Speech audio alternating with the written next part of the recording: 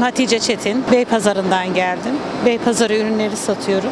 İlgisi güzel ama bundan birkaç sene önce de gelmiştim. Aşağı yukarı 5 senedir falan katılıyorum ben bu fuara. Ama tabii ki e, maddi sorunlardan dolayı birazcık bir tık düşme var.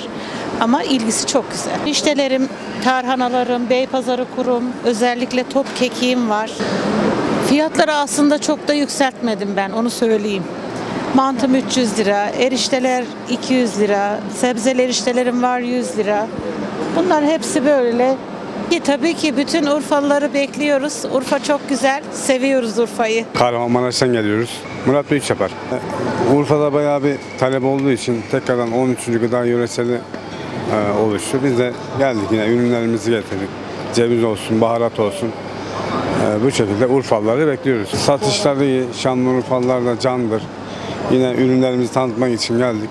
Yine ürünler için Şanlıurfalı hemşehrilerimizi bekliyoruz. Ben Aysel Geylani. Ee, Çiçeklerimizin hepsini kendim yapıyorum.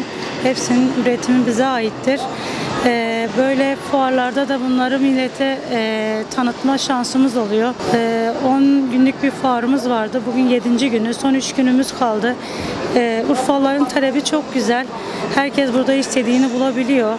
İstediği ürünleri uygun fiyatlarda alabiliyor. Muhammed Emin Yıldırım. Biz İstanbul'dan geldik. Kurabiyemizi tanıtmak için Urfa halkına fuara katıldık. Şu an kurabiyemiz herkes tarafından çok beğeniliyor. İnşallah daha da iyi sonuçlar alırız. Son 3 gün kaldı. Hani buradaki esnafımız da gerçekten çok güzel ürünler satıyor. Herkes birbirinden kaliteli, birbirinden güzel ürünler satıyor.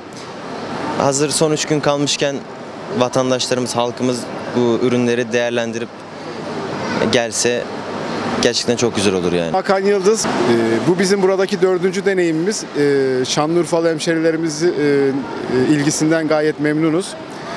Son üç günümüz fuarda da hepsini bekliyoruz standımıza. Güneydoğu'nun bölgemizin, ilimizin ürünlerinden tadıp kendileri de satın alabilirler. Bizde e, bölgemizin işte e, incirinden tutun, cevizli sucuğundan, bastıklarından, üzümlerinden e, çeşitlerimiz var, kuruluklarımız var. Yani e, Adıyaman'dan, Şanlıurfa'dan, e, Mardin'den ürünlerimiz, Antep'ten ürünlerimiz bulunmakta.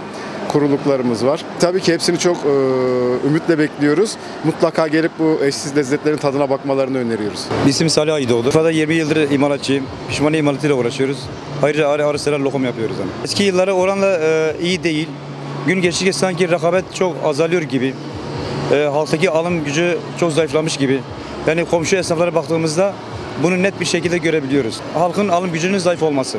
Geliyorlar ama e, boş bir gezme olayı var. Yani e, göz görüyor, dolaşıyor. Yani. Pişman fiyatı biz şu an e, maliyetinin 5 katı altında veriyoruz. Yani 5 katı zarar ediyoruz. Yine de e, istediğimiz rakamların çok altındayız.